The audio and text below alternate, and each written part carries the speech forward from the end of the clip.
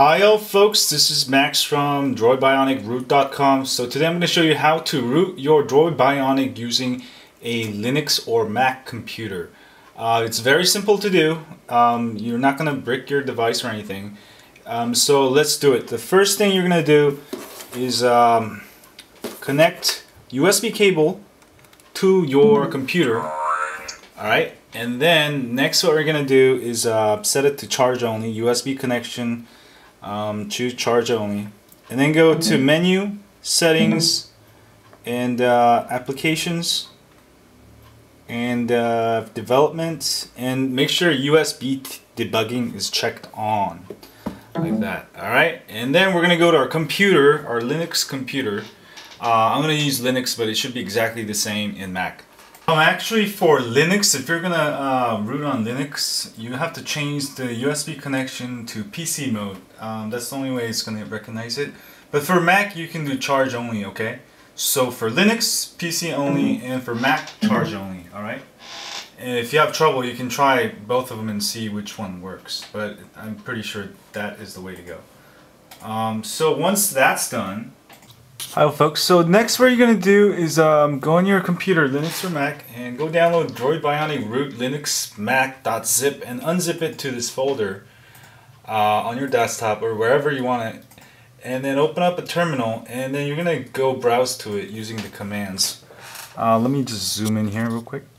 And then uh, type these commands, uh, cd uh, desktop, oops, and uh, type droid and you can do the tab to fill it in for you or wherever you uh, unzip the files to.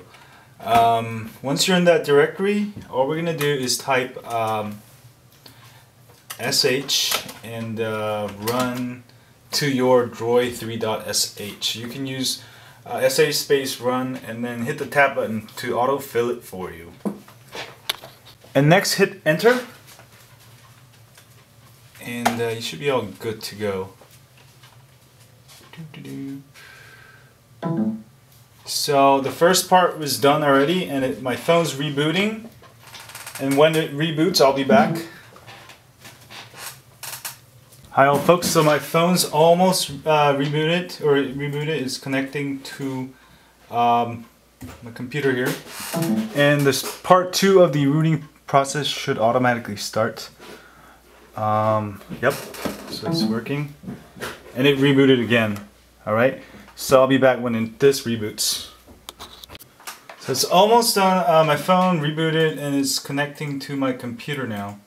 And then uh, it should do the step three and hopefully we'll have a rooted uh, Droid Bionic. Last time I did it Windows, but this time I did it with Ubuntu Linux. And the process should be same on the on the Mac because it uses pretty much the same uh, method. So, why is not starting? Do do do do do. Do do do do. So it should start any minute here.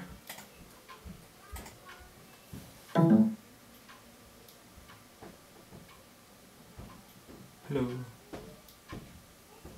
There we go. It says remount succeeded.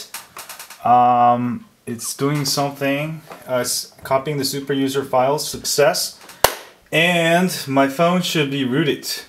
All right, let's go to our phone and take a look. Alright folks, so I'm gonna open up my phone here, um, unlock the screen, and let's go see if we have super user. There we go, we have super user app, and uh, it's been rooted.